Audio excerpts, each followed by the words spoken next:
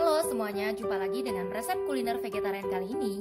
Kita mau bikin kue tradisional zaman dulu, jajanan masa kecil, namanya pengkue vegetarian. Atau juga ada yang sebut namanya angkat ho. Kita siapin dulu nih bahannya, beras ketan, jamur shiitake, kacang tanah goreng, protena halus goreng, air rebusan jamur, dan protena kasar goreng. Lalu, siapkan kecap manis, minyak wijen, kecap asin, merica, garam, kaldu jamur secukupnya. Selanjutnya, siapkan panci dan rebus air hingga mendidih. Lalu masukkan jamur shiitake, kita rebus hingga jamurnya lembut.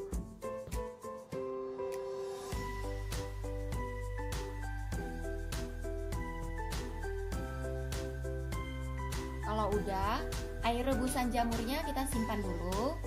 Terus, jamurnya kita potong dadu atau dicincang halus seperti ini. Kemudian, panaskan wajan dan tuang minyak sayur. Kita tunggu sampai minyaknya panas, baru masukkan jamur yang udah dicincang tadi ya. Lalu tumis jamurnya hingga wangi. Kalau udah, masukkan beras ketan. Nah, beras ketan ini sebelumnya udah kita rendam semalaman ya. Terus tambahkan kecap manis, kecap asin, merica, garam, dan kaldu jamur. Kita aduk-aduk, ditumis sampai rata. Sampai semua bumbu dan rasa udah rata.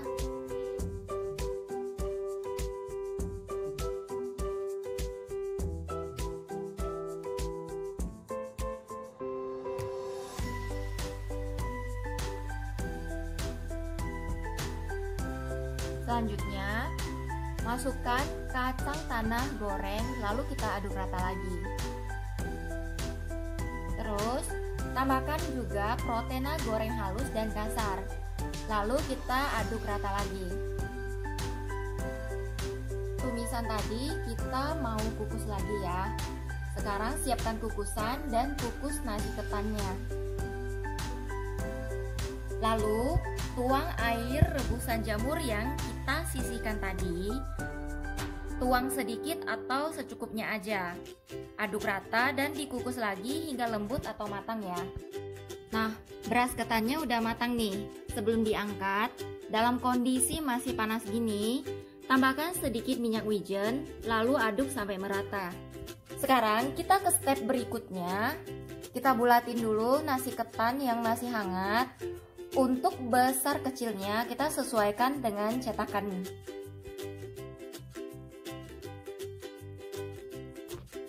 Kalau udah selesai, siapkan tepung kanji, air mendidih, dan tepung beras.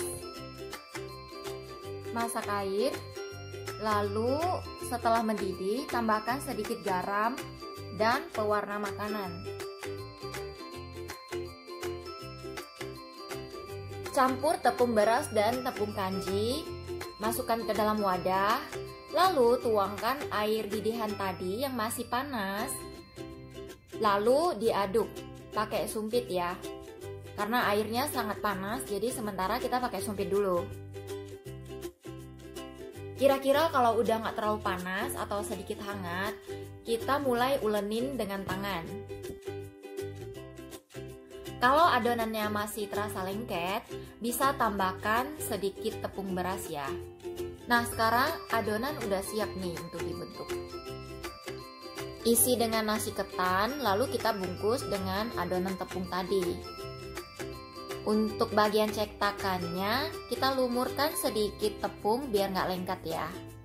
Cetak adonan sambil ditekan-tekan dan dirapikan.